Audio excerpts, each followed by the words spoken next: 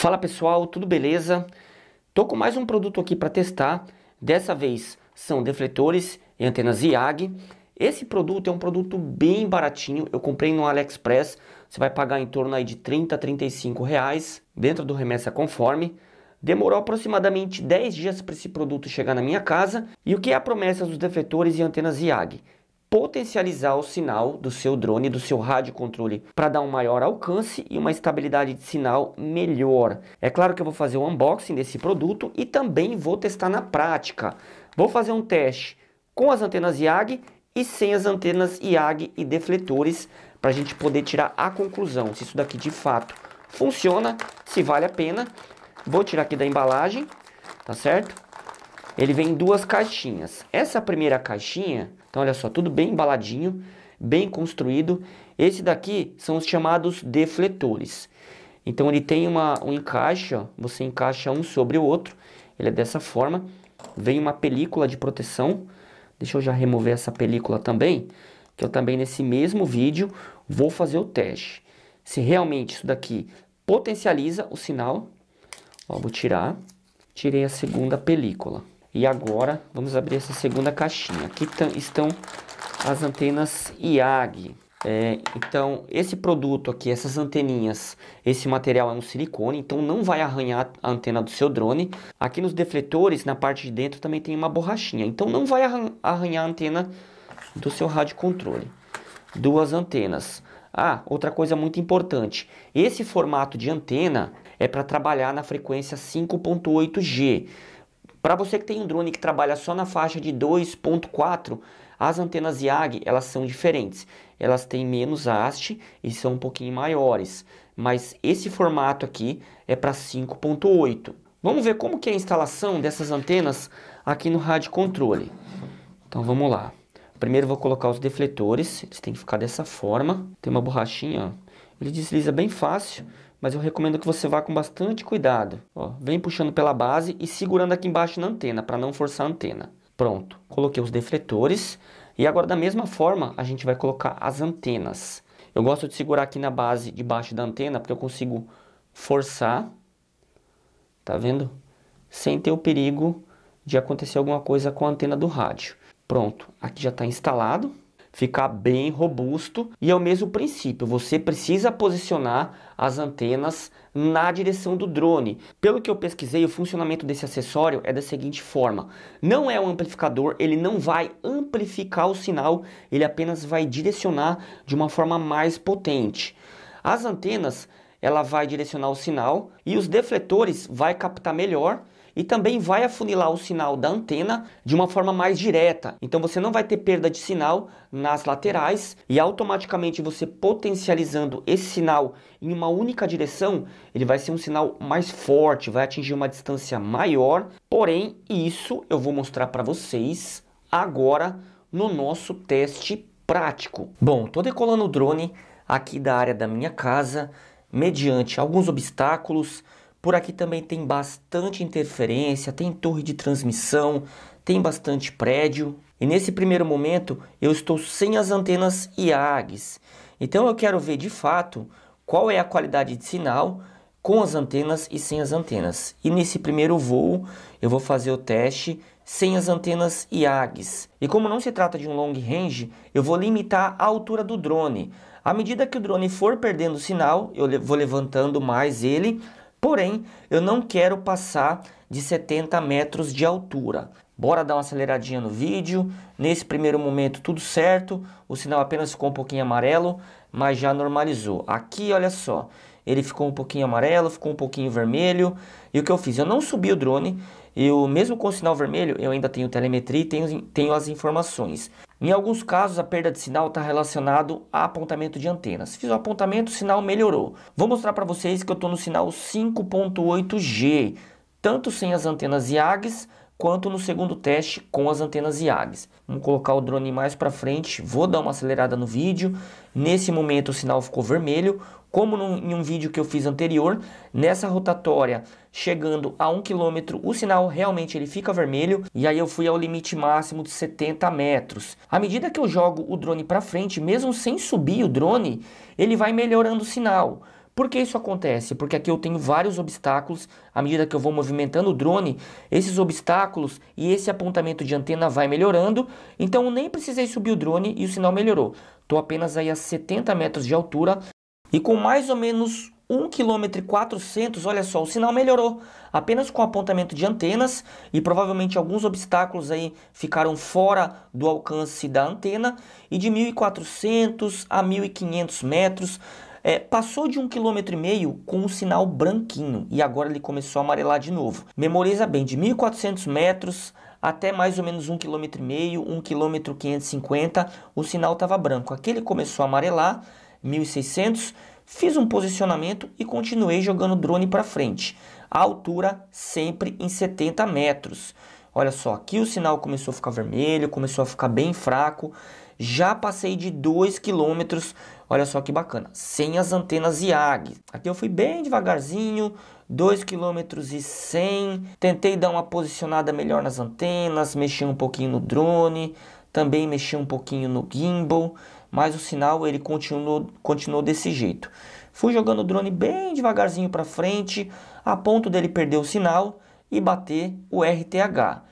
Aqui o sinal começou a ficar bem fraquinho, já começou a falhar o FPV, já começou a dar aquelas travadas com 2.166, passando de 2 km. Aqui eu baixei bastante o gimbal, o FPV deu uma bela de uma travada e agora ele vai perder o sinal e ele vai bater o RTH automático. Então é hora da gente retornar com o drone. Cancelei o RTH e trouxe o drone aqui no braço. E vou aproveitar para fazer uma brincadeira aqui, ó. Eu parei no meio do caminho, tem um McDonald's, dei um zoom, olha só que bacana. Esse drone tem um zoom de 12 vezes. Aqui já são imagens do cartão de memória, as imagens principais que aqui eu salvei em 4K a 30 FPS. Olha só que bacana. Um dronezinho de câmera excelente, boa estabilidade e também tem um bom sinal. Continuei aqui retornando com o nosso drone, o vídeo está bem acelerado. Uma outra coisa que eu acho muito legal nesse drone é o pouso preciso. Tanto que eu decolo aqui da área da minha casa, é um lugar bem apertado. E essa função me ajudou a decidir entre comprar o FIME Mini 3. Olha só, ele bate o RTH, ele consegue identificar a plataforma de pouso de uma forma bem lenta, bem suave. Ele vai se aproximando, vai se alinhando, tá vendo? Ele vai desviando dos obstáculos de uma forma bem suave. Ele se posiciona ao centro do land pad, que é essa plataforma de pouso, sem eu mexer no stick. É claro, eu gosto de pousar o, o drone na mão, então quando ele chega bem pertinho da plataforma, eu cancelo o RTH, deixo ele pairando e pego o drone na mão. Já no segundo teste, vamos conferir aqui, está no 5.8, aqui eu já estou com as antenas IAGs e vamos fazer da mesma forma. Vou levantar aqui o drone naquele mesmo esquema, vou começar com 35 metros e não vou passar de 70 metros de altura. E vamos ver aqui se realmente essas antenas elas vão melhorar, vai potencializar, vai dar uma estabilidade melhor no sinal. Então bora lá. 35 metros, vamos jogar o nosso dronezinho para frente. Olha só quantos focos de interferência, prédio, torres de transmissão e vamos lá fazer o nosso teste. Até aqui tudo ok. Vou pegar aqui essa avenida principal o sinalzinho aqui ficou vermelho, sem as antenas IAG também, nesse trecho antena o sinal fica um pouquinho vermelho, mas é só jogar o drone para frente, porque ele vai livrando os obstáculos aí que tem atrás do rádio controle e antena.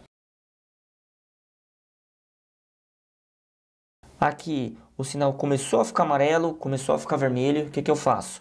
Levanto um pouquinho o drone, a ponto dele melhorar um pouquinho o sinal, aqui com as antenas IAG. Olha só, levantei e continuei a jogar o drone para frente. Vamos lá, aqui o sinal oscilou bastante, mesmo assim eu continuei jogando o drone para frente. Tem outro ponto aqui que o drone também costuma perder o sinal, ficar com o sinal um pouquinho mais fraco. Aqui o sinal ficou vermelho. Mesmo assim eu joguei o drone para frente, mesmo com o sinal vermelho. Aqui eu vi que ele não vai melhorar, então subi mais um pouquinho o drone e continuar com ele para frente. Nesse outro ponto, olha só, sinal vermelho de novo. E aqui eu vou subir é, na altura máxima combinada, que é de 70 metros. Assim como eu fiz sem as antenas IAG. Vou subir aqui o drone, 70 metros de altura. Não vou passar dessa altura. Então bora jogar o nosso drone para frente, à medida que ele vai indo para frente, ele vai melhorando o sinal. Continuei jogando o nosso dronezinho para frente. Aqui eu baixei um pouquinho o gimbal, dei um zoom aqui novamente no McDonald's e olha só aquele nosso ponto de atenção, 1400 metros a 1600 metros, sem as antenas YAG, o sinal tinha ficado branquinho e com as antenas YAG isso não aconteceu. Chegamos entre 1400 e 1500 metros e o sinal ficou laranja. Então aqui eu já achei bem estranho. Como eu fui gravando o percurso todo, eu fui no modo cine, eu fui bem devagarzinho, eu acabei consumindo bastante de bateria. Então eu fiquei com medo de avançar um pouco mais, mas eu passei de 2 km, a bateria estava aí em torno de 54% e eu não queria é, correr risco na volta. Eu gosto de voltar com o drone com mais de 50% de bateria. Aqui o drone chegou a 2 km, aparentemente o sinal ficou igual, sem as antenas IAG, durante o percurso, então eu resolvi retornar com o drone. E antes que venha aqueles comentários maldosos que eu recebi nos vídeos anteriores, mas e os 9, e os 9 quilômetros que o drone promete? Para quem tem drone, sabe que para você chegar no limite máximo prometido pelo fabricante, você depende de alguns fatores. Voar em um ambiente totalmente aberto, livre de interferências e subir a uma altura aí que varia entre 120 e 140 metros. Eu tô voando dentro da cidade com obstáculos, interferências e não tô indo muito alto, tô chegando no máximo a 70 metros de altura. Então é impossível fazer um long range nessa situação que eu tô voando. Aqui se trata de um teste de qualidade e comparação de sinais com antenas e sem antenas IAG. Minhas considerações finais com defletores e antenas IAG. Eu vou falar aqui a minha experiência, mas eu preciso que vocês deixem aqui nos comentários se eu utilizei da forma correta, se vocês querem que eu faça um teste com essas antenas em outra situação, em long range, em um local aberto, livre de interferências e obstáculos. Deixa aqui nos comentários que tipo de teste vocês querem que eu faça com essas antenas, porque nesse teste que eu fiz, voando dentro da cidade, com obstáculos, algumas interferências, e não indo com o drone a uma altura muito alta, eu não tive uma boa experiência. E eu posso até arriscar dizer que sem os defletores e antenas IAG, o drone teve uma performance melhor, porque nas duas situações do mesmo percurso, o sinal ele, oscilou da mesma forma. Porém, naquele trecho de atenção, que é mais ou menos de 1 km 400 até 1 km e 500, sem as antenas e defletores, o drone ele ficou com um sinal branco. Eu até mostrei, parei o drone, segurei um pouquinho o vídeo depois, com as antenas e defletores, nesse mesmo trecho, entre 1 km 400 1 km e 500, o sinal ele já ficava laranja, ou seja, o sinal ele teve uma performance um pouco inferior com as antenas e defletores. Pode ser que em uma outra situação, em um long range, em um voo exploratório, essas antenas funcionem um pouquinho melhor. De toda forma, eu vou deixar link de compra, caso você queira adquirir esse acessório. Ele é bem baratinho, tá na média aí de 35 reais. E também vou deixar link de compra do FIME Mini 3, que na minha opinião é o melhor custo-benefício. Um dronezinho que me passa muita segurança, tem muita estabilidade, muito gostoso de você pilotar ele. E é isso, pessoal. Confere a sua inscrição aqui no canal. Eu vou ficando por aqui e até o próximo vídeo.